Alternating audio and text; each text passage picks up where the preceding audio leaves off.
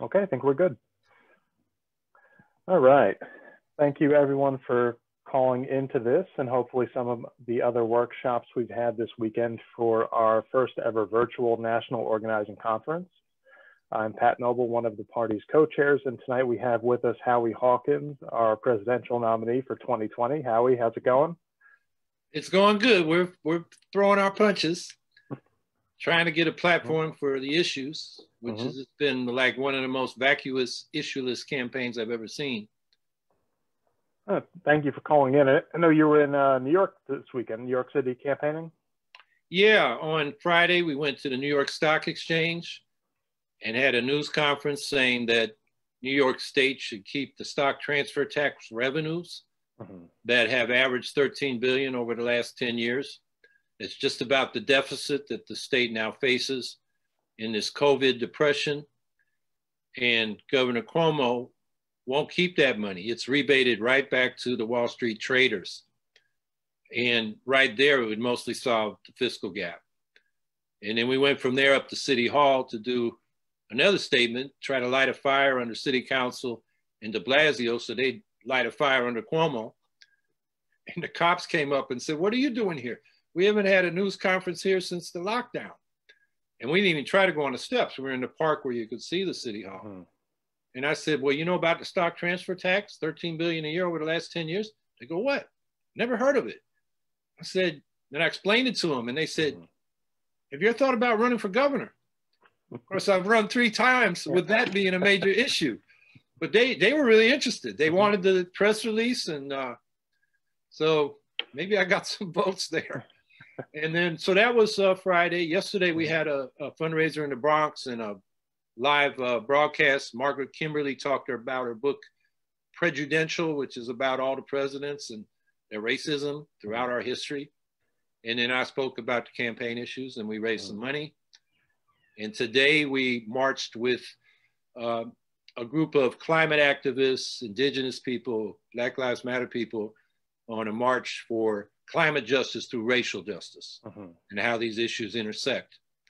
And I was surprised at how good a reception we got. I remember in 2004, we came down to New York and marched with Peter Camejo, who was Ralph Nader's running mate that year. And people were coming up to us saying, What are you doing here? We're here to march against the war. No, this is about supporting John Kerry against Bush. And this was sponsored by United for Peace and Justice. We're saying, no, we're against the war, but we were getting heckled. I didn't get heckled today. I ran into a few people that wanted to settle for Biden, but uh-huh. surprisingly, most people were with us. They said they're uh-huh. going to vote for us. So that's a good sign because we're fighting for our life. You know, the right. ballot line in New York, we need 2% uh-huh. stay on a ballot. It's basically triple what we used to have to get. Uh-huh. And uh, so, you know, they're trying to, the Democrats are trying to crush the Greens and the whole independent left. Mm-hmm. They just want us to go away. They're challenging our ballot lines around yep. the country. Yeah, yeah they didn't come hard uh, on the ballot so, access this year. What was it, Wisconsin, Pennsylvania? They succeeded there in those two states and also Montana. Okay. Uh, but we're still on over 30 ballots. Mm-hmm. We'll be right in in the rest of the states, except those that don't count them, which mm-hmm. are South Dakota and Nevada. Mm-hmm. Um, following the Socialist Party example, we're on the advisory vote in Guam. and originally, I was hoping to go out there. I have cousins in Hawaii who are Asian Pacific Islanders, and we were mm-hmm. going to do a trip to Guam and leaflet, you know, yep. the whole try to win Guam and make a statement. But the COVID uh, knocked that out. Yeah. So can't do it this time. Yeah, for everyone listening, um, four years ago, our party's ticket was on in Guam and it won, it won I think, 4% of the vote, something like that. Yeah, it was, yeah. it was people worried about climate change. And, you yep. know, they're not getting it from the Democrats and mm-hmm. Republicans because, yeah. you know, they're losing a lot of their land mm-hmm. to rising seas. Yeah, you, you Democrats aren't going to do anything on the environment. Yeah, what what Joe Biden the other was a week or two ago saying that you know there's no reason we should get rid of fracking you know, some quote like that? Yeah, he said, not now. Mm-hmm. Didn't really commit to any time, but you read his policy and the Democratic platform, mm-hmm. And without saying it, they they're basically saying we're going to frack the hell out of the country, mm-hmm. like we did under the Biden Obama administration, mm-hmm.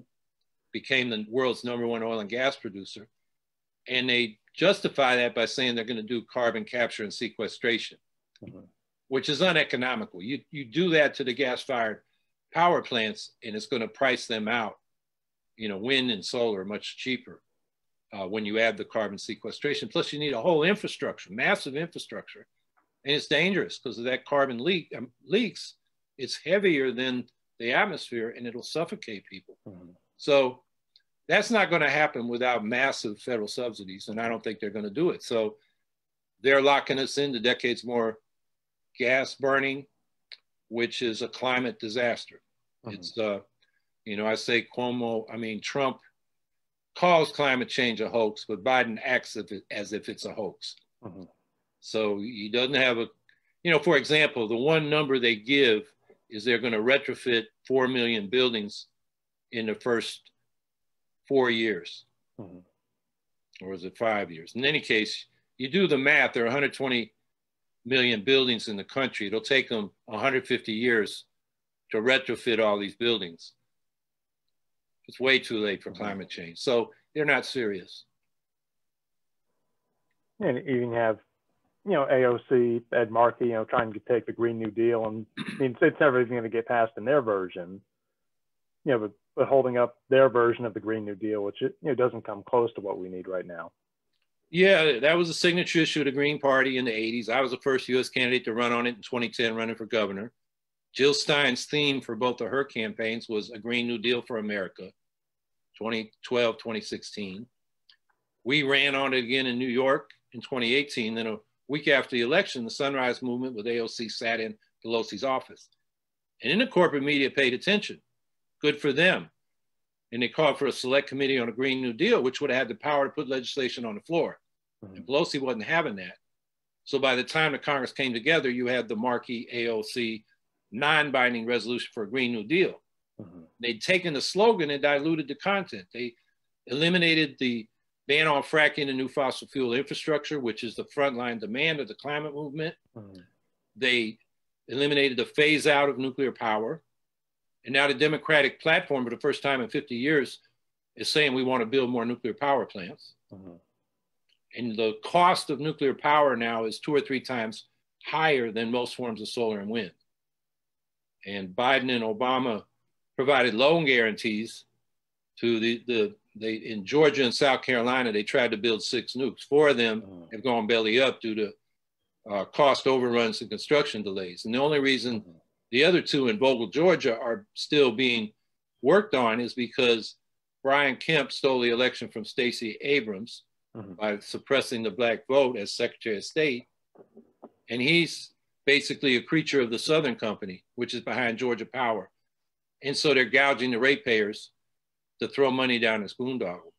So they eliminated the phase out of nuclear power. They eliminated the uh, deep cuts in military spending to help fund the Green New Deal. And then they extended the deadline to zero out carbon emissions from 2030 to 2050. And even then, Pelosi's never let him vote on it. McConnell, of course, said, oh, we're going to put all you senators running, you Democratic senators running for president on a record.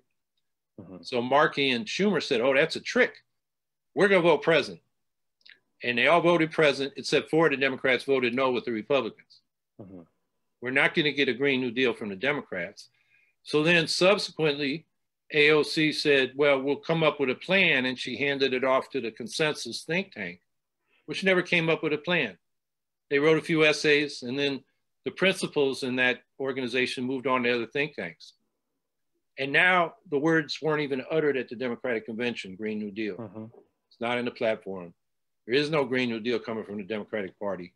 There's no serious climate plan. Of course, there's not coming from Trump either. So that's why yeah we want to get at least a million votes for socialism in this election. That would be the mm-hmm. first time in American history.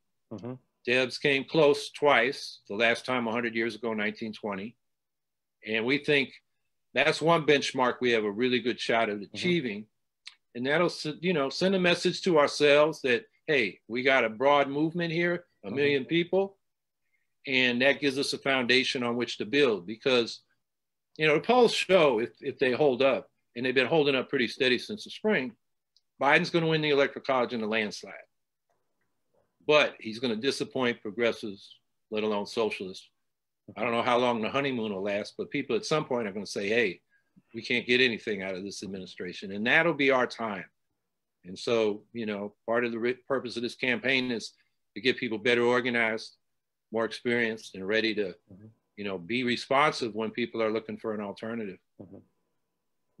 I mean, and speaking of alternatives, it seems like your campaign, you know, one of the main messages is the left unity, the million votes for socialism. You know, and you see your campaign getting more support across the left than any I can think of since Debs. Obviously, the Green Party's nomination, the Socialist nomination, um, Socialist Alternative, uh, Independent Socialist Group. I think you have three DSA locals now, which is unheard of. And all these groups that, for lack of a better way of saying it, usually don't get along too well with each other, all coming on board with the same campaign is really groundbreaking. You know, there's never been anything like it before now.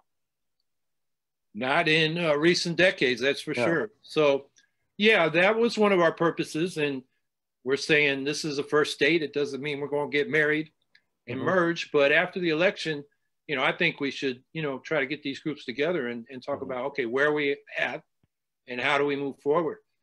the Greens you know, one of the purposes is to get ballot lines in about 40 of the states. The vote we get determines whether we have a ballot line going forward. But, you know, that's one, two, three, or 5% in most states. Mm-hmm. Uh, it's going to be tough in some states to do that.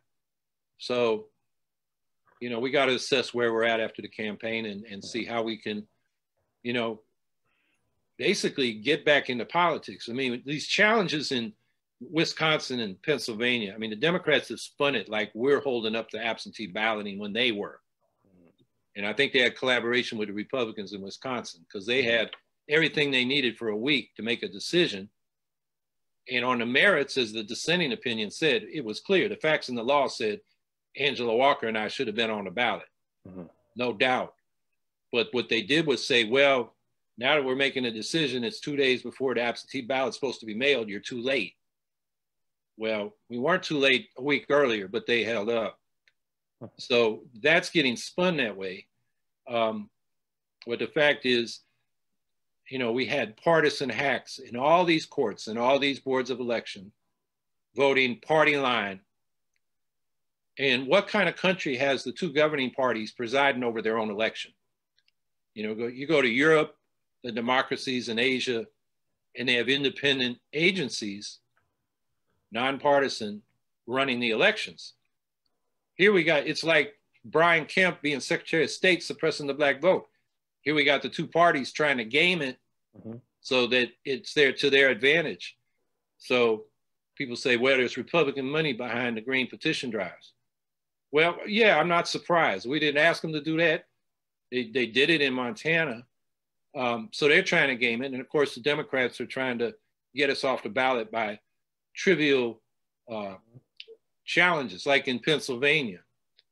We got double the number of signatures we got needed. I think we needed 5,000. We got, I think, um, almost 10,000.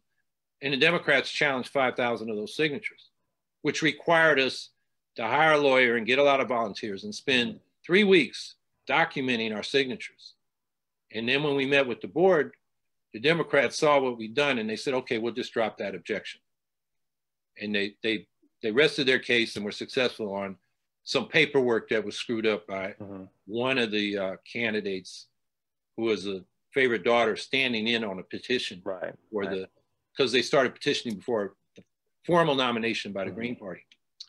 So, you know, they got us on a on a little paperwork thing, mm-hmm.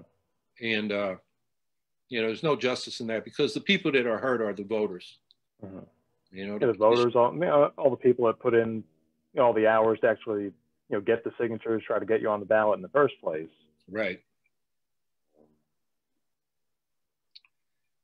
Yeah. So, you know, party suppression by the Democrats is a form of voter suppression. You know, they think they're going to gain in Wisconsin by this. I wonder, you know, Angela Walker got 67,000 votes running for sheriff in Milwaukee. She's a uh-huh.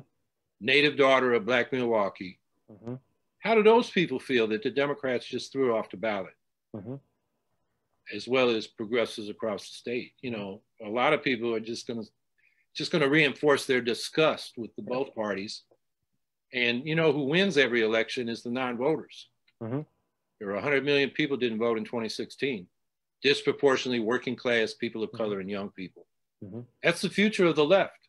Yeah, those are the people we've got to connect to, and that's why you know we talk about a mass party with grassroots organizations in these communities, so people they don't just hear our message at election time. They they see us active on the issues. We go out and don't preach at them. We listen, mm-hmm. find out what their concerns are, build relationships, friendships. So then, when it comes to politics, they know we're on we're on the side of the people, mm-hmm. and it's that grassroots organization that I think the left needs to refocus on. You know, when we went from the old left to the new left, and I'm a child of the new left, I think we were over impressed by what we did with street demonstrations. Mm-hmm. Civil rights movement, anti-Vietnam War movement and we threw the baby out with the bathwater because we're not building mass organizations. We're all sort of looking online for what the next instructions are from these nonprofits. They're not democratic, you know, some billionaire liberals hire this, you know, hire, set up the organization, they hire staff, staff sits around a table and decides what the strategy is. And it tends to be channeling people into voting for Democrats as the lesser evil. And you know, I think the left has to take the advice of old Amilcar Cabral, a great African revolutionary in Guinea-Bissau, who had a, a, saying, tell no lies, claim no easy victories. Mm-hmm. You got to tell the people the truth. You know, this last week, there was a group of old environmentalists, I call them aging environmentalists like me, who uh, mostly people that were around starting Earth Day. They claimed to have been in there at the start of clamshell. I was there. None of the people signing were there that I recognize. But anyway, they said, don't vote for the Green Party. And one of the things I, I said in there, and they tried to, you know, make Biden out to be somebody we could work with. And of course, as we just talked about, Biden's climate policy is terrible. Mm-hmm. So I said, we got to stop calling defeats victories. Because then people get disillusioned because they realize nothing's happening. But on the hopeful side, you know, the young people, the Extinction Rebellion people, people like that we were talking to today, they get it. And I think uh, the other encouraging thing is the Black Lives Matter movement. You know, this was a anti-racist movement where a lot of white people came out in solidarity and are still coming out. And that's something new. I mean, some people supported civil rights when they saw what happened at Selma and on Pettus Bridge. But this was, you know, I don't know how many hundreds of thousands on the streets. And I, you know, it was heartfelt. People saw George Floyd murdered, lynched on TV, and they were mm-hmm. outraged. And they came out and expressed that. So I, I think that's something we can build on. That's a good harbinger for the future. And it seems like, especially this election, with you know, with someone as uninspiring as Joe Biden, the Democrats have nothing to offer, no new policies, nothing radical, nothing progressive the best the best thing they can do to get people to vote for them is to kick campaigns like yours off of the ballot to try to limit the choices. You know, just keep people in you know with their blinders on where it's either us versus Trump and you got to vote for us, and there's no there's nothing inspiring or positive about their messaging. It's just vote shaming people into supporting them. Yeah, well, my, my answer to the progressives and the socialists is shame on you if you vote for Biden. You know, we have a two front anti Trump uh, campaigns going on here. And the stronger anti-Trump, anti-fascist vote is the Green vote. Mm-hmm. And the more votes, and the Green and Socialist vote, and the more votes we get, the less Biden can take the left, the independent left, for granted. If uh, everybody folds up and just votes for Biden, and we get a small vote, then Biden's going to think, I got all the left in my pocket. You know, they're not going to vote for the Republicans. They don't threaten to go anywhere else. So I can ignore them. So, you know, I say if you're a progressive and you vote for Biden, if you're a progressive, you want Medicare for all, mm-hmm. you want a Green New Deal, you want to end the endless wars, you want to legalize marijuana and end the war on drugs, and a whole lot of other things. And you vote for Biden, he's against all those things. Mm-hmm. You get lost in the sauce. you know, you voted for Biden. Nobody knows that you want Medicare for all, but you vote for the Green and Socialist mm-hmm. candidates everybody knows we want Medicare for all. Mm-hmm. Everybody knows, you know, we want a real Green New Deal and so forth. And of course, within the movement, you know, we've been emphasizing in the Medicare for All, for example, you know, we don't want, like in the Sanders bill, uh, room for private insurance to subcontract. We've seen that what, you know, has happened to the National Health Service in the UK, where they, in the name of efficiency, bring in competition and they end up with more bureaucracy. Or like in this country, Andrew Cuomo here in New York, I forget the statistics now, but like the number of hospitals, public hospitals been cut in half in the last 20 years. And because of the competition, the public sector runs lean like it's the private sector to maximize, you know, profits or at least get customers in that environment. So when the COVID crisis comes along, they don't have the resources to respond. Mm-hmm. That's that's the problem with privatization. So we're talking about not just socializing only the payment through a single public payer, socializing mm-hmm. the delivery. Mm-hmm. So we have a fully socialized healthcare system. We call it a community controlled national health service with the mm-hmm. hospitals and clinics being publicly owned, the mm-hmm. doctors, the nurses, and the other healthcare workers being public employees. Mm-hmm. And they answer to us through locally elected health district boards so that we can make sure every community has the proper mm-hmm. healthcare resources and they're responsive to our needs. Mm-hmm. And then they federate from that level to the state and national level. So that you know, we had legislation like that. Uh, Ron Dellums introduced it back in the 70s when the choice was between the Nixon bill, which was mandates for private insurance, like we got with Obamacare. Mm-hmm. There was the Kennedy bill, that's single payer, national health insurance, they used to call it. And then the Dellums bill, which was written by veterans of the Medical Committee for Human Rights. Mm-hmm. Then in the 60s was patching people up after they got beat in the civil rights movement or the anti-war movement. Mm-hmm and they came up with a great bill. It's called the Josephine Butler United States Health Service. Mm-hmm. And Dellums had it in there, and then Barbara Lee carried it until uh, I think it was 2013. After Obamacare passed, she dropped it. Mm-hmm. So that legislation needs to be brought back. And I guess it's not going to happen now until we elect a green or socialist to the Congress. So that's uh, that's one of many issues where we need to get into the into the politics in a real way. What what do you say to the people that are either supporting your campaign or they're on the fence about what they're going to do? And with all the issues in the election, now we're throwing um, a potential Supreme Court nomination into the mix with um, uh, Ginsburg passing away on Friday. So now you've got one more thing for the Democrats to come out and say, "My God, you got to get our guy in there. You got to vote for Joe Biden," assuming Trump doesn't get his nominee in beforehand. But do, do you think that changes the messaging a little bit, changes the dynamic of how you have to sell the campaign to voters, especially undecided people? Well, we're we're demanding that there be no uh, nomination or uh, yeah nomination and yeah. approval by the Senate uh, until the new Congress and president take office. And there's historical precedent for that. Like Lincoln had an opportunity right before the 1864 election, mm-hmm. and he said, "No, it's too late. Uh, that was October 1st, a little bit earlier than now, but a little bit later than now. But he said it would be wrong to do that. And I believe there's another president had that uh, decision facing them, and they waited.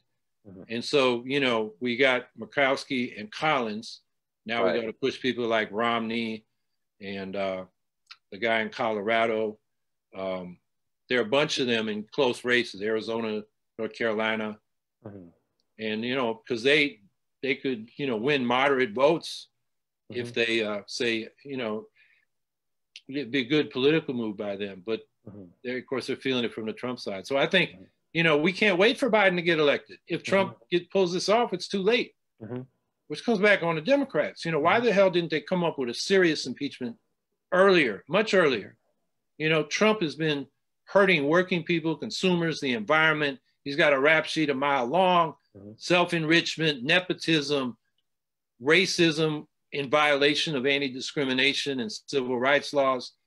I mean, they could have made a real case and mobilized the public. Instead, Pelosi didn't want to do that for a long time because she wanted to protect her members of Congress that were elected in purple districts.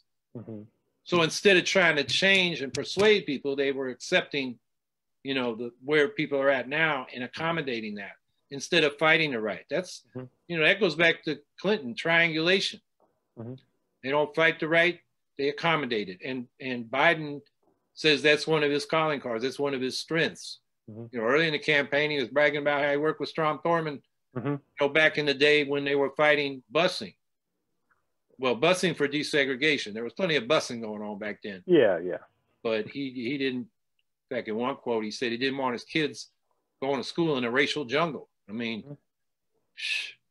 you know, and when Clinton was running uh, in '92, he unveiled his law and order program at Stone, Morton, Stone Mountain, Georgia, the spiritual home of the Ku Klux Klan, where they got the visages of uh, Jefferson Davis and Stonewall Jackson and Robert E. Lee carved into Stone Mountain. It's like they're Mount Rushmore. And he's at the correctional facility at Stone Mountain with a bunch of prisoners behind him, most of them black, lined up in their suits, you know, their striped suits or whatever it was. Mm-hmm. And that's, I mean, Trump hasn't even done something so blatant you know, that was, you know, a real signal from Bill Clinton who felt our pain. Mm-hmm. You know, I'm not sure if he didn't feel our pain that much more than, than Donald Trump does. So, um, yeah, relying on the Democrats to fight the right is mm-hmm. the wrong thing. And that's, I think, true right now. We can't wait for Biden. So, you know, I'm telling people, yeah. you got to vote for what you want to make the politicians come to mm-hmm. you. And certainly in states like New Jersey, where you're from, or New York, mm-hmm. where I'm from, Trump is toast. I mean, there's no mm-hmm. question who's going to win. And I don't know what the polls say in New Jersey and New York. He's been 25 points ahead or more. So shame on any socialist or progressive that votes for Biden in, in New York. Mm-hmm. You know, you, you basically just supported a very conservative mm-hmm. hawk right. for the presidency. I mean, what are you doing? Mm-hmm. Now I can understand if it's, you know, in you're in a state where it's close. Mm-hmm. I'm not going to shame or scold people that decide, you know, they want to defeat Trump. That's the first thing. Mm-hmm. Although I will argue that, you know, for the Greens, for the socialists, every state is a battleground. Mm-hmm. You know, who do we fight when we're fighting fracking or for mm-hmm. affordable housing in the cities where the real estate machine is behind the Democratic machine? Mm-hmm. It's the Democrats. You know, I was talking to this about this with Kali Akuno from Jackson, Mississippi and he said, you know, they want us to turn these so-called battleground states into sacrifice zones mm-hmm. Where the left is crushed and can't fight back because it doesn't have a battle line. So, you know, that I urge people wherever to vote for the left and let's build this movement. But like I said, you know, if they decide in a close state they got to vote for Biden, mm-hmm. I'm not going to say, well, we're never going to talk again. We're just going to have to talk after the election and you know, say, okay, now how do we move forward? It actually looks like we just had a question for one of the people in um, on the Zoom webinar. Um, and if anyone wants to ask who's listening on Facebook, we're watching that as well. Uh, Claudia, one of our vice chairs, asked, are there more plans to confront the ongoing suppression of ballot access or have the options for legal recourse already been exhausted? In uh, Wisconsin and Pennsylvania, my understanding is they have. Um, our lawyer in Pennsylvania is definite on that. Uh, I'm not sure we talked to the lawyers we had in Wisconsin mm-hmm. if there is an option. Mm-hmm. Although I suggested to my campaign manager, the Democrat who presided over the election Wisconsin, Wisconsin Election Commission hearing mm-hmm. on the objections to our petition did not let us present our documentation that we did everything to a T as far as see what happened was Angela Walker moved across town in Florence, South Carolina during the petitioning period. So some petitions had her original address and some had her later address after she moved, which is what they told us to do. And then they wanted an affidavit from her, uh, notarized showing she what her current address was, which was on her declaration of candidacy or declaration of intent, whatever they called that form in Wisconsin. We couldn't present that in the hearing, which then required us to go to court and extended the whole process. There must be some law against that kind of malfeasance and abuse of power. So I, that's what I asked. You know, can we can we, you know, sue her or sue the commission for, you know, violating their own law? I, I don't know the answer to that, but you know, I, I don't want to just let them get away with this without, you know, at least fighting back any way we can. So that's that's where we're at. There's some states like Oklahoma, I think one of the cases in Montana, Nevada, Arizona, where we're in court, but it won't be resolved by the election. So we're trying to set precedents. Like in Oklahoma, they want a $35,000 filing fee. And the next highest filing fee is, I think, 2,500 for U.S. Senate statewide election.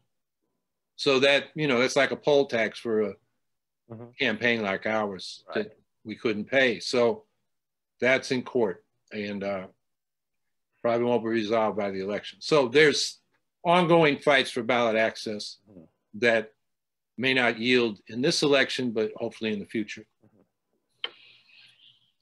What's it been like um, campaigning during the pandemic? I mean, you've run a lot of campaigns, and certainly, you know, the in-person events, the handshaking, it's all very different this time around. Yeah, it is. Um, instead of being on the road barnstorming, mm-hmm. I've been on Zoom calls like this. and actually, during the Green primaries, and there were 47 of them, I probably talked to more people this way than I could have where I'm, you know, driving halfway across the state one day or halfway across mm-hmm. the country. I'm flying, a lot of travel time. And then the local people got to pull people together, and that requires work on their part. It was, I think, kind of worked out well for the primary season. Mm-hmm. And then, you know, we have different groups of people want to talk to us. So, you know, like local DSA chapters, mm-hmm. like uh, refugees from the Bernie Sanders campaign. Mm-hmm. And instead of having to, you know, fly here, there, and everywhere to meet mm-hmm. with these people, we just get on Zoom. Yeah. So that's been good. On the other hand, there's a poll out. It shows our, our best uh, results are in small cities.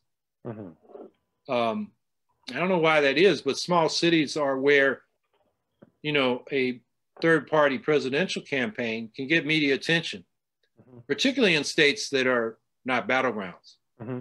So if I go to Wichita, Kansas, which people assume Trump's going to win Kansas, mm-hmm. a presidential candidate, Trump and Biden ain't going to Kansas. Same thing in New York. You know, they're not fighting over New York. They, mm-hmm. you know, Trump's conceded that to Biden. Mm-hmm. So I will be going around and have been going around New York State.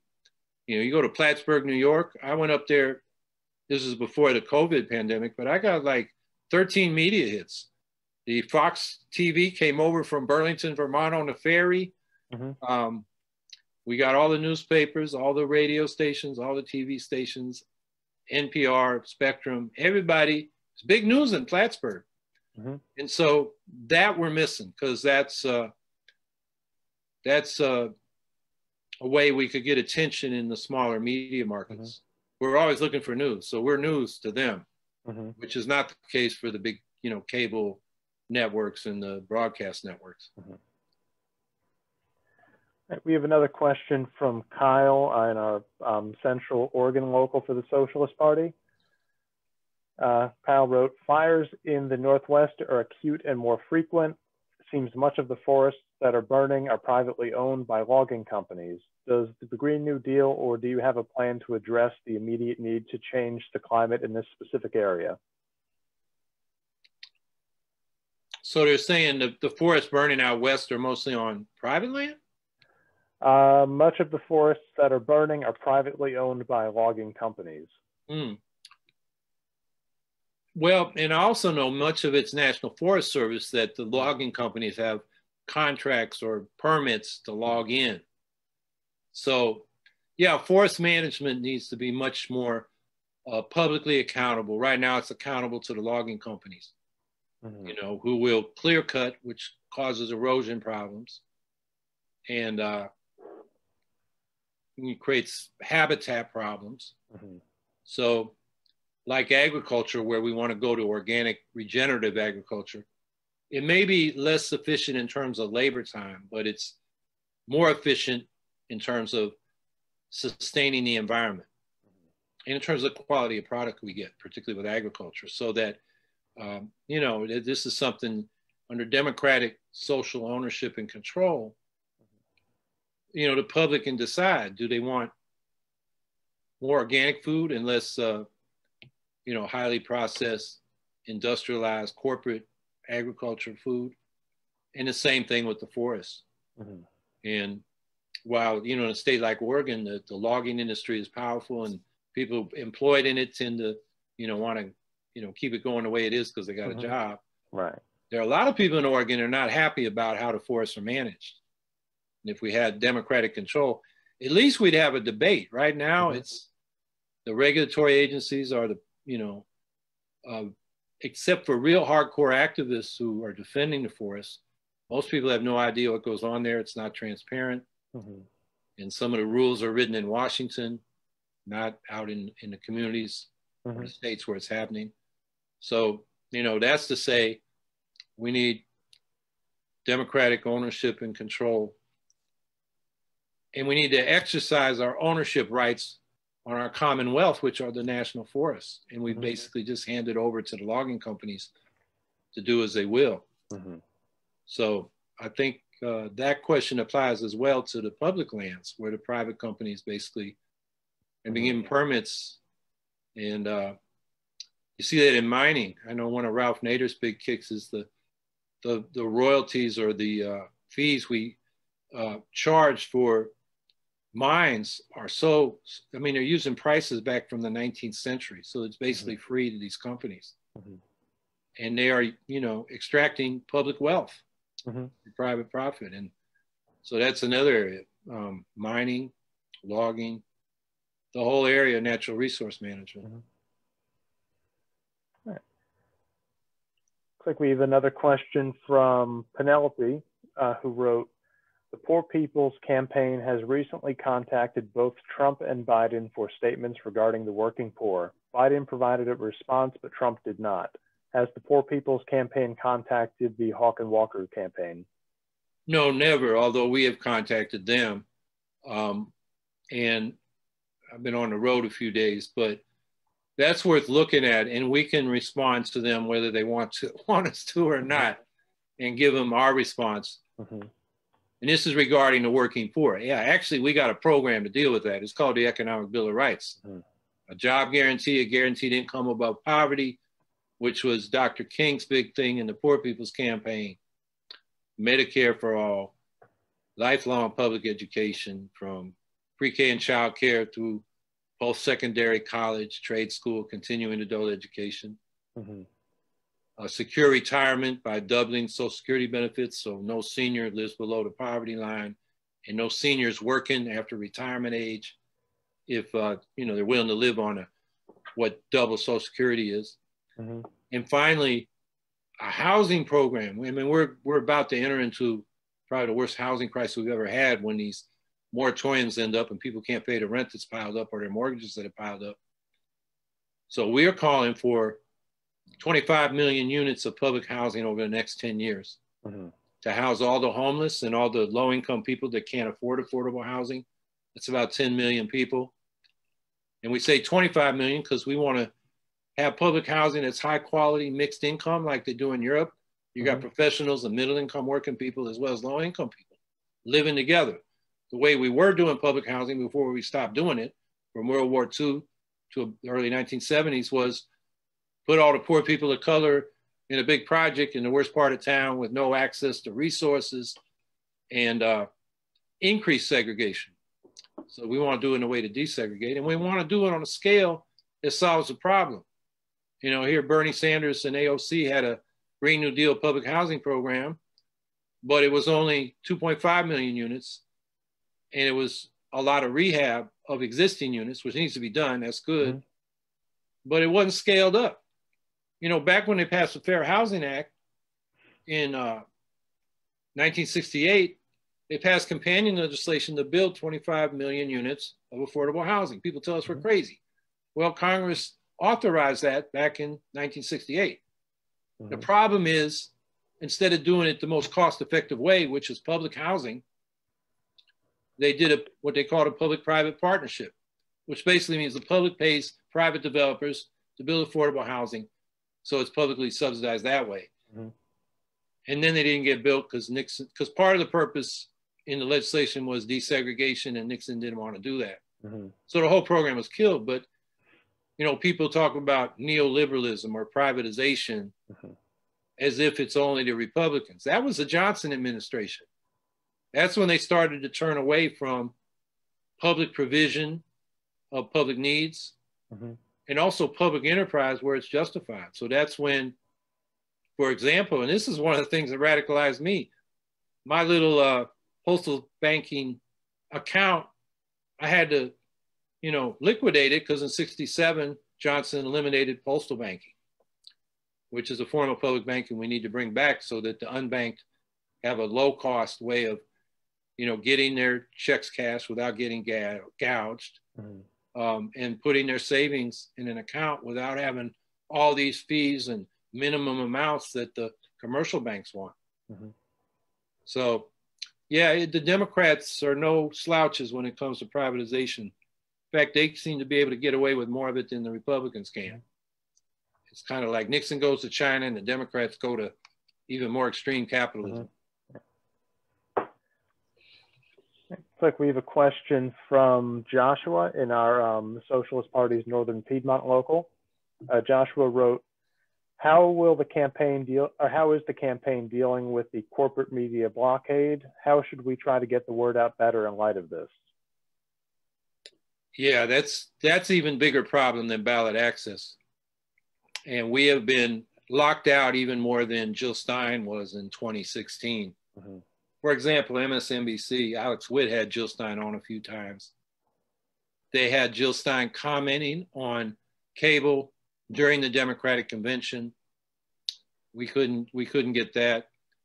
They did those climate uh, town halls back in September of 2019. I'm the original Green New Dealer. You'd think even if they didn't put me in the town hall, they'd do a segment on that. Mm-hmm. You know, might in, make the discussion more interesting. We did get some reporters and even some hosts. You know, they, they were interested, but the producers make the decisions and they they locked us out. Mm-hmm. So what people can do is write to these various outlets, and it's not just big corporate media. It's Democracy Now. Mm-hmm. It's NPR. NPR had a segment after the Libertarian got the nomination. They have yet to have one on on our ticket. So you know, write to these outlets and saying, when the hell are you going to cover Howie Hawkins and Angela Walker? Mm-hmm. You know, and you know, they, if enough people do that, they do want to keep their audience pleased so the advertisers aren't mad at them. People say, well, public radio is public. No, they got ads on there, you know, all the time. It's mm-hmm. it's really changed. So they're all commercial now. Mm-hmm. Um, well, Democracy Now is not, but you know, they they should cover the whole spectrum. We we right. haven't got anything from them. In fact, mm-hmm. it kind of repeated the Democratic spin on Wisconsin and Pennsylvania. Mm-hmm from what I'm told. I haven't seen the segment, but uh, yeah, it's it's been rough. So the other thing we're doing is you know getting on podcasts. Some of them you can write to them too. Mm-hmm. Um, we responded to Charlemagne the God when uh, Biden gave him that. What did he say? He said something really objectionable. Maybe that's where he said, you know, if black people don't vote for me, they ain't black. Yeah, I think that's what he told Charlemagne yeah. the God. So Angela wrote a great response, and uh, we sent it to him. He never responded to us. Mm-hmm. Um, and there are other podcasters. It got decent audiences. I mean, I've been doing podcasts constantly, you know, since the lockdown. Right. Since before, and you know, it's getting around, but you know, we tend to get the the smaller left wing or you know, sort of independent, plague on both your houses uh, kind of podcasts. Mm-hmm and uh, you know we take advantage of that. But we could use we should get on some of these bigger megaphones. So what people can do is write to them and say, you know, not just you know you should cover these guys because it's right. Cover these guys because they're interesting. They got mm-hmm. things to say. They got important issues. Mm-hmm. You know, the uh, Bulletin of the Atomic Scientist has their doomsday clock the closest it's ever been to midnight because of this new nuclear arms race that the U.S. Uh, instigated with its nuclear modernization program, which Biden mm-hmm. supports as much as Trump, the Democrats as much as the Republicans. Mm-hmm. And we have a way out of that peace initiatives, deep cuts in military spending, orderly withdrawal from our 800 foreign military bases in 14 wars where we have combat troops engaged right now. Mm-hmm. People don't know that many. There are. A lot of them are small, but they're, you know, places in Africa, the Philippines, as well as the Middle East and North Africa. Um, pledge no first use of nuclear weapons, and then go to the other nuclear powers and say, we're no longer threatening you. Uh, these weapons should never be used because it'll kill all of us. And let's have mutual and complete disarmament and go there with world public opinion. 122 nations have agreed to the text of a new treaty on the prohibition of nuclear weapons. Mm-hmm. The International Campaign for the Abolition of Nuclear Weapons got the Nobel Peace Prize for that. Hardly anybody in this country knows that because the leadership of both parties, their presidential candidates, and the corporate media stenographers don't talk about it. It's a life or death existential issue. And there's no discussion. The last bilateral treaty between the United States and Russia expires next February 5th. That concerns strategic arms. Mm-hmm. And there's been a little discussion of that, but it's not like Biden has said, you know, I, am going to go, you know, get that treaty renewed. And uh, it's a huge issue. It's just not being discussed. And it's mm-hmm. a major issue that any other country with a half decent media would force the candidates to discuss. Mm-hmm. But instead, you know, Trump kind of sets the agenda. He tweets and Fox retweets and MSNBC and CNN say, oh, how horrible. And it's all about Trump. Mm-hmm. And the real issues aren't being talked about. Oh, here's our next one um, from uh, Mike in Biloxi. Uh, he asked, um, what are your thoughts on reforming or eliminating the Electoral College? Oh, man. I mean, I, every time I get told I'm spoiling it for Biden, I say, no, he's spoiling it. And the Democrats are spoiling it. Because even before Nader, we've been giving the proven nonpartisan solution to spoil presidential elections. Mm-hmm. And that is to replace the Electoral College with a ranked choice vote, national popular vote for president. And you would think the Democrats, who have not lost to a Republican by the popular vote, at least when the Republican was first elected, and instead, you get the Electoral College putting the right wing losers into office Bush and then Trump. You would think the Democrats would say, hmm, that's a problem for us. Mm-hmm. The Electoral College distorts the results. And instead, they spend all their time trying to keep the Greens off the ballot, which tends to alienate people. You know, most of our voters are out to vote for us. Mm-hmm. They are not wayward Democrats. 61% of the votes for uh, voters for Jill Stein in 2016, according to the exit polls, would have mm-hmm. stayed home if she was not on the ballot. Mm-hmm. You plug that number into Wisconsin, Pennsylvania, and Michigan, wouldn't have changed the results. Mm-hmm. So the Democrats are going after the wrong problem. So yeah, the electoral college needs to be abolished. And, you know, Bill McKibben in, in the New Yorker about a year ago now said I should drop out and campaign uh, for ranked choice voting. You know, if I wasn't in the election, it wouldn't even be raised. Mm-hmm. Now, I think that's an issue where we're gaining. We got 23 cities and counties that do it. The state of Maine is doing it, including for the uh, electoral vote in this election. It's on the ballot in Massachusetts. I think it's an idea whose time has come. Mm-hmm. And uh, so I think we're actually gaining on electoral reform. We've actually got in most states uh, the, the, petitioning requirements lowered, uh, the deadlines made more reasonable. Um, you know, Richard Winger at Ballot Access News, who I know, you know, socialists mm-hmm. know as well as Greens, is right. He's the man. He's been on this issue for mm-hmm. decades, and we're slowly making progress. So I think that's an area where we need to keep going. It's going to come from the bottom up, cities and counties, then states. And as more people become familiar with ranked choice voting, they'll say, yeah, why don't we elect the president that way instead of the electoral college, which, you know, most people still don't get.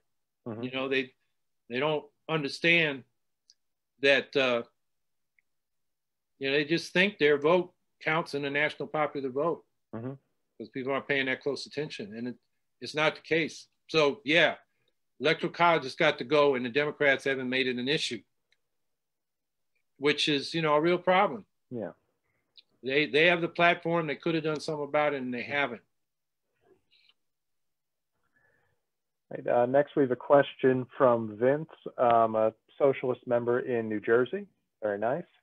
Uh, Vince wrote, in light of the recent death of um, Ginsburg, I'm curious to know what, a, what the Supreme Court would look like under a green or socialist presidency if the Supreme Court is to exist under a uh, green or socialist presidency. Well, I think we'd appoint uh, somebody who was not a economic neoliberal, which Clinton did. There was a study that came out in 2004 from Fordham Law School in one of their in their journal, and it looked at the Reagan Bush appointees versus the Clinton appointees. It was actually Clinton appointees were more conservative because a lot of what goes on before the Supreme Court has to do with corporate regulations. Mm-hmm.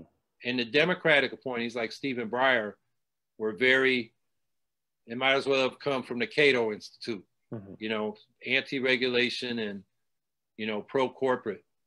So that would be a big difference. Of course, we'd be for the civil rights and individual rights, you know, the right of a woman to choose whether or not to have an abortion, uh, equality for LGBTQIA folks, no question there. Mm-hmm. More strict on civil rights, you know, we'd have, we wouldn't appoint somebody who would have said the pre-clearance provision of the Voting Rights Act was unnecessary. Mm-hmm. Obviously, what's happened since that was removed makes it real clear it is necessary, probably in more areas, jurisdictions than it was before they removed it. Because mm-hmm. now we've seen it in places like Wisconsin, where they got photo ID, which you know disproportionately affects Black Milwaukee, where a lot of people use public transit don't have driver's licenses, mm-hmm. but also there, you know, the student vote in Madison, it's huge, it's predominantly Democratic but they won't accept stu- uh, student IDs. You know, all those kids got cars. So, mm-hmm. you know, that was very calculated on the part of Republicans. So that's the kind, you know, states like that, having done that, you know, they should be under the pre-clearance provision. Mm-hmm. So, you know, that's legislation that can be passed. Mm-hmm. So I think the difference is between the Democrats who are will probably produce social liberals, although uh, Merrick Garland was not that liberal. He was really a middle of the roader at best, pretty mm-hmm. conservative guy, like the Clinton appointees. That was going to mm-hmm. be Obama appointee.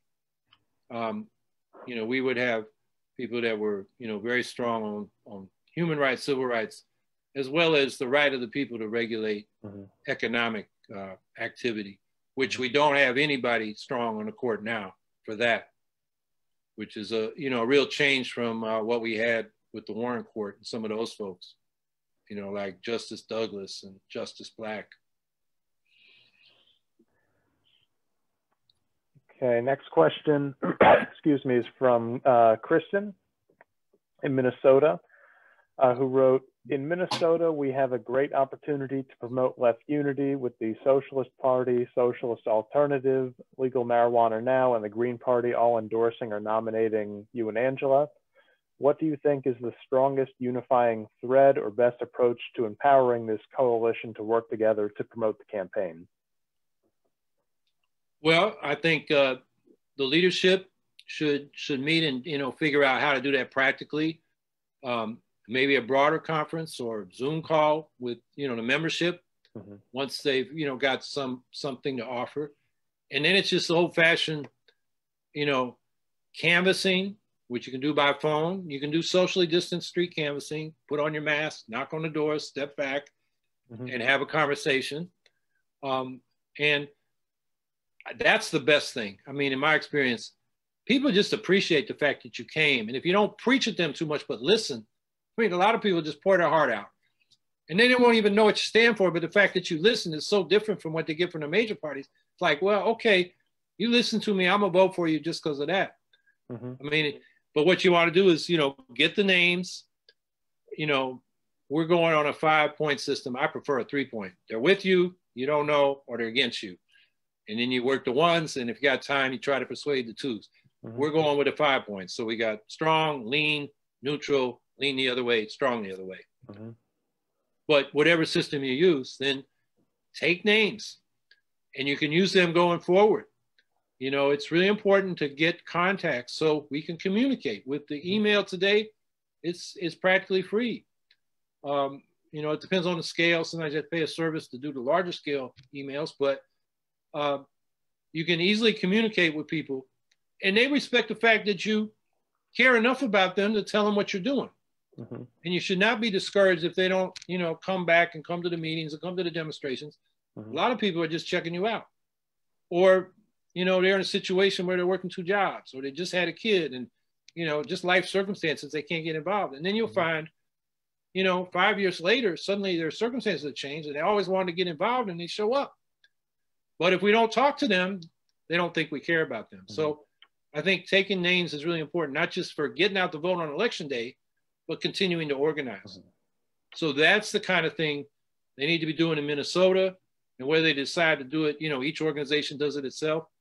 You know, share the contacts with our campaign so we can do the national messaging mm-hmm. and then do your local messaging. And election day is just one day. I mean, one thing we need to talk about is, you know, whatever the election day vote is, there's going to be a lot of mail-in ballots counted. And, you know, one of the nightmare scenarios is Trump has a narrow popular vote or votes in some states that on election day is ahead, but by the time the mail-in ballots are, are, are he's behind. And then he's going to say it was rigged and the mail-in ballots were crooked. He's already setting that up.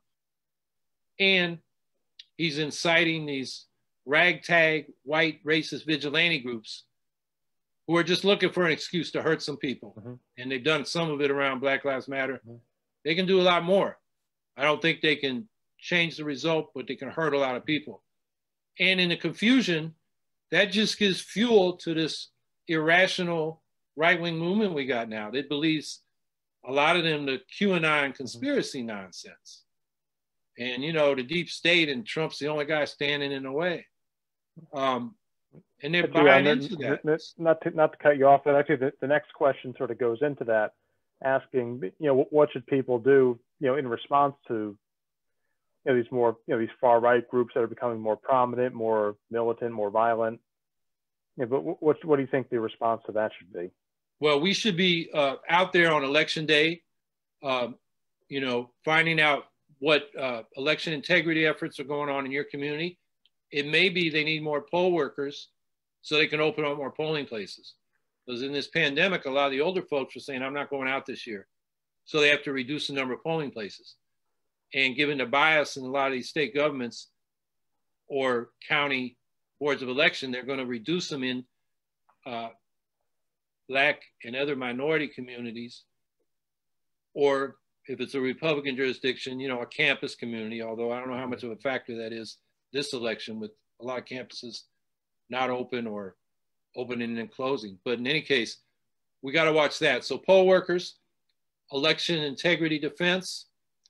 I got a report today that some people were showing up in Virginia for early voting. I'm not sure it was accurate, but maybe it was a rumor that, you know, some white vigilantes showed up to intimidate people. Mm-hmm if it didn't happen, it, it, it's likely to happen in some jurisdictions. We've seen that in the past, although it's been more Republican lawyers than people with, you know, carrying arms where you have open carry. We got to watch that. And then we got to defend the election like the Democrats should have done in Florida in 2000. You know, they had the Brooks Brothers riot where all the Republican, uh, you know, staffers from Washington went down there and were banging on the door, stopped the count it's you know being rigged and uh, Gore and Lieberman was that was it Lieberman that year? Yeah. Yeah. Uh-huh. Yeah, they called off. They said don't demonstrate. You know, Sharpton, Jackson, everybody was. Angela Walker was down there. That was her first real engagement in a presidential election, mm-hmm. trying to, you know, get the vote counted in Florida. She was a bus driver back then, in uh, driving a Greyhound bus, and uh, so we got to be out there. And if uh, I don't know if Biden's going to fall as easily because they've been forewarned and they've sort of said we're going to defend the election, but mm-hmm. we need to, you know, have mass support for a full and accurate count.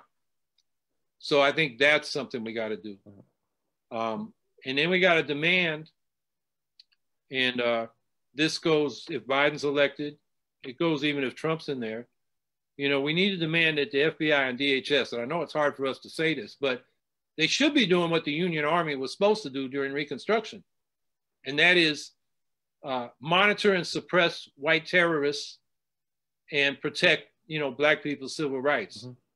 And the FBI is too focused on, you know, immigrants and Islam, Islamic people as a terrorism threat, and not what has been, and they know are the biggest terrorists now are these white racists. Mm-hmm. So you know, both DHS and uh, FBI, we should demand that they do that. Mm-hmm. And of course, if we had a green and socialist government, uh, we would we would probably, you know, clean house in a lot of these agencies like Border Patrol, uh, which probably should be abolished along with ICE mm-hmm. and reconstituted as a, a border agency that actually implements the law. Because we know from those Facebook pages that half the Border Patrol was on that racist, misogynistic Facebook page where they were saying, you know, really terrible things about immigrants and women.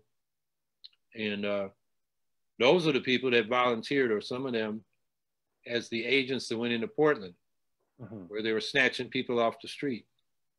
And Border Patrol can do that. I, you know, I live in Syracuse, New York, within 100 miles of the Canadian border, and they come down there and they're they're asking people to show their papers. Uh-huh. Which, you know, what kind of country do we have where you're just walking down the street or particularly they go to the regional transportation center and anybody that looks like they're black or brown gets asked to show their papers. Mm-hmm. So we, we got a clean house. And then while I'm at it, I'll say we got to do the same thing in the police departments. We know these white racist groups have been uh, urging their people to get into police departments as well as the military. And uh, we've seen cooperation in some of these demonstrations, like they shut down the Michigan, Oregon uh, legislature, and this is over a climate bill. And then we've seen a bunch of them over the, you know, the uh, lockdowns and the masks and so forth in about, I don't know, eight or 10 states. People show up armed and the police do nothing and, and intimidate legislators. Meanwhile, Black Lives Matter goes out there, nonviolent, peaceful march, and they decide to put a curfew on and then break it up with tear gas and batons and flash grenades and you name it, pepper spray. Mm-hmm. So, what Angela and I have been talking about is we got to demand more than just use of force reforms. Mm-hmm. You know, we had a chokehold ban in New York City since 93. It didn't help Eric Garner who 20 years later was suffocated to death with a chokehold. We got to bring the, we got to stop the police from policing themselves through internal affairs and bring them under community control. Uh-huh. should have a police commission that the Panthers used to say elect them. More recently, some people have been saying, let's select them by lot like we do juries. Uh-huh. So the politics are out of electing these commissions, and then they have the power to hire and fire the police chief to review the people that are on the force for racism and sadism, and then set the policies and budgets, and then independently investigate and discipline misconduct. Mm-hmm. Um, and, and, and, if we don't do that, and the police continue to police themselves, they're going to get away with these crimes, mm-hmm. the assaults and the murders, and this racket called civil asset forfeiture, mm-hmm. which is a slush fund for the police. I mean, that's unbelievable that that's mm-hmm. still on the books and they're doing it. Mm-hmm. Now, what are some of the things people can do to work on the campaign? The people that either can't or are uncomfortable going out doing the normal campaign work because of COVID, you know, knocking on doors, things like that. Well, phone canvassing, and we have a phone banking operation in the campaign. They should go to the website, howiehawkins.us, click on the volunteer form, and then click check the box on uh, phone banking. That's something people can do. Um, they can do it on their own through their you know local organization. And like I was talking about earlier, we're taking names. You know, we want to know who says they're likely or will vote for us. And then on election day, or really the weekend before, right up to election day, we, we start saying, okay, election's on Tuesday. Have you voted? In fact, you can start doing that now with a lot of mail-in balloting going mm-hmm. on, and depends on the state. So that's really the, the, the most concrete way we can, you know, maximize our vote. And now we're, we got basically seven weeks left, or is it six now? Yeah, Uh, it's like six or Six seven. and a half, Yeah. Six on Tuesday. Yeah. Okay. So, yeah. So, you know, and the voting started in a lot of states. So it's, you know, now's the time to get that vote out. Mhm. So, yeah, people can get on the phone. Our campaign has lists Mhm. and they can plug you in. Um, and I don't mind, you know, if there's a Socialist Party local wants to do their own initiative, take their own names, please share the names with us so we can do the national messaging, the new contacts. But uh, use that for your own organizing. So what's the last um, six weeks going to look like for you and Angela now that you're in the home stretch? Well, we're going to keep trying to get uh, our policy messages out. I have uh, some uh, proposals on tax reform, a wealth tax, a state tax, income tax, more progressive than you know Warren and Sanders on the wealth tax. Mhm. and uh, then uh, we got a, we're working on exactly what will we cut to get 75% cuts in military spending Mhm. that's another you know thing we want to get out um, and you know we'll comment on issues as they come up as we have Mhm. been so that's one thing and the other thing is uh, helping greens and socialists and anybody supporting the campaign Mhm. Do the nuts and bolts of election voter ID and get out the vote. Mhm. Voter ID identification and GOTV, get out the vote. That's really the next six weeks emphasis. Mhm. And then, you know, it doesn't stop then. Then we Mhm. like look at what happened and start talking about what our next steps are. Mhm. And, uh, you know, what issues can we move? What kind of organization do we need to develop? Those kinds of things. Mhm. So I think that's the immediate thing, you Okay. know, voter ID, get out the Mhm. vote. And the campaign will do as much messaging as we can. Mhm. You know, I, I have got some nibbles, uh, Morning Joe on MSNBC. Uh, in a couple weeks may have me on if uh, they stick to their offer or their plan or whatever it's been. Um, and I think we may get a few more like that, but you know, that's going to be, it's not the main narrative. It's like, Mhm. you know, human interest side story. Mhm. We'll, we'll do, we'll make the most of it, but uh, that's hard. So we- we'll put out the message at least to the, you know, people in the movement Mhm. and, you know, lay out some policy standards that we can keep fighting on.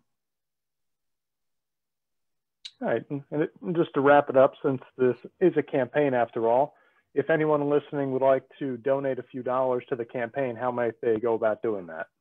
You can do it online at howiehawkins.us. You get there, there's always a donate button somewhere on the page or wherever you go on the website, pretty much. And if you want to send a check rather than do it online, Mhm. uh, the donate page tells you how to do that. You know, where to mail Mhm. address, address it to. Uh, the campaign account is Howie Mhm. Hawkins 2020. And if anyone's looking to donate more, um, you can also go to socialistparty-usa.org. You can donate to both. That, that would be nice. Um, but I think that don't see any more questions. I think that wraps it up. I want to thank Howie for calling in after his long weekend of campaigning in the city. Uh, I want to thank yeah, I want to thank everyone who um, called in this evening as well as attended all of our workshops throughout the weekend. Um, again, our first virtual national organizing conference. Usually we'd be off somewhere doing this. Uh, we had a great weekend. I believe all of our workshops, if you missed any of them, were, are going to be on our website soon, so you can catch them after the fact.